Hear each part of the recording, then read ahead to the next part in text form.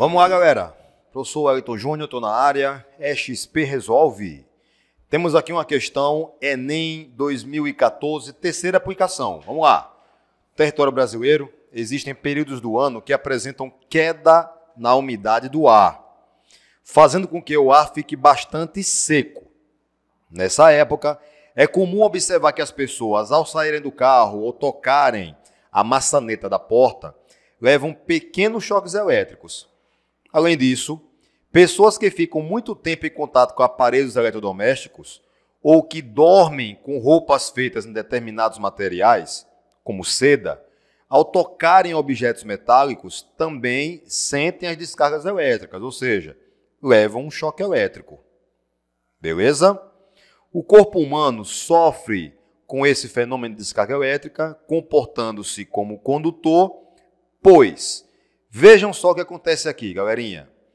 Aqui nós temos uma questão que envolve a parte de eletrização, ok? Mais precisamente, nós temos uma situação de eletrização por atrito, tá? Isso é mais comum do que a gente imagina, ok? Um corpo que está em constante atrito com o ar, por exemplo, um carro. Um carro está com uma velocidade, se movimentando em relação ao solo, ele pode se eletrizar desse contato né, com o ar, ok? Ali pode ser uma eletrização por atrito. Tranquilo? Nesse caso, por exemplo, a questão diz aqui, ó, claramente, ó, é comum observar que pessoas, ao saírem do carro, olha lá, ou tocarem a maçaneta da porta, vejam, levam pequenos choques elétricos. Isso acontece pelo seguinte, ó, vamos desenhar aqui uma pessoa nós vamos usar esse exemplo aqui da maçaneta da porta, ok? Eu tenho aqui uma pessoa que por algum motivo sofreu um processo de eletrização e ele está aqui, ó, cheio de elétrons. Vamos supor que nessa situação ele ficou carregado negativamente, ok? Porque a questão falou, comportando-se como um condutor. Tranquilo? Porque o que é que vai acontecer aqui basicamente? Bom, se eu pegar dois corpos quaisquer, que eu vou chamar aqui ó, de corpos A e B, um deles será o condutor, tá? Esses corpos inicialmente neutros. O outro deles será o isolante, ok? No momento em que eles são atritados, o que é que vai acontecer aqui? Eu vou ter passagem de elétron tá? nesse caso, do corpo condutor para o corpo isolante. Beleza? E aí, quando eu separar esses corpos, um deles vai ficar positivamente carregado e o outro vai ficar negativamente carregado. Ok? Nessa situação aqui, o corpo está eletrizado negativamente e vai se comportar como um condutor. Veja, ó, pessoa aqui já está carregada e vai se comportar como um condutor. No momento em que ela toca em algum corpo, como a maçaneta da porta, por exemplo, eu tenho automaticamente ó, um aterramento, ok? Ou seja, um contato dessa pessoa com a superfície, com a terra, onde eu tenho escoamento de elétrons, beleza? E o que é que vai acontecer aqui quando essa pessoa tocar com a maçaneta da porta? Como ele está com excesso de elétrons, eu vou ter elétrons saindo do corpo, né? saindo do corpo da pessoa ó, em direção à Terra. Beleza?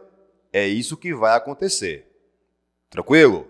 Então, baseado nisso que a gente viu, vamos para os itens. Só para lembrar, a questão diz, ó, o corpo humano sofre com esse fenômeno de descarga elétrica, comportando-se como condutor, pois, letra A, oferece resistência nula ao movimento da quantidade líquida de carga através do corpo. Quando a questão diz aqui, ó, quantidade líquida de carga, isso quer dizer excesso de carga. OK?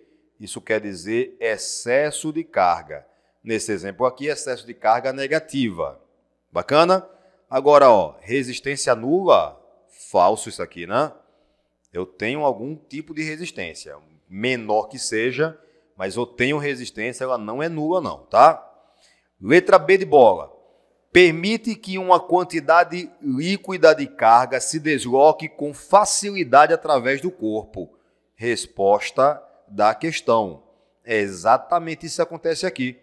A pessoa toca na maçaneta da porta, nesse exemplo aqui, ok? Se comporta como um condutor, então os elétrons vão sair dele, ó, em direção à Terra. Tranquilo? Letra C. Permite que uma quantidade líquida de carga se desloque com dificuldade. Vejam, ó, através do corpo. Isso aqui, você pode até dizer que se comporta um corpo isolante, tá? Mas como a questão falou que se comporta como um condutor, então aqui, ó, tá errada a letra C. Beleza? Letra D. Alterna a capacidade de deslocamento da quantidade líquida no corpo, facilitando ou dificultando o fenômeno. Falso. Em um processo de eletrização por atrito, das duas, uma. Ou você vai facilitar ou você vai dificultar o fenômeno. Facilitando é condutor, dificultando é isolante. Tá? Letra E. Reduz o deslocamento da quantidade líquida de carga em função do aumento da diferença de potencial. Reduz o deslocamento da carga é exatamente o que ele faz melhor, né? Se ele está facilitando o deslocamento da carga, como é que ele vai reduzir o deslocamento, ok? Então não pode ser letra E a resposta da questão. Confirmando aqui, ó, letra B de bola. Valeu, galera. Até a próxima. Tchau, tchau.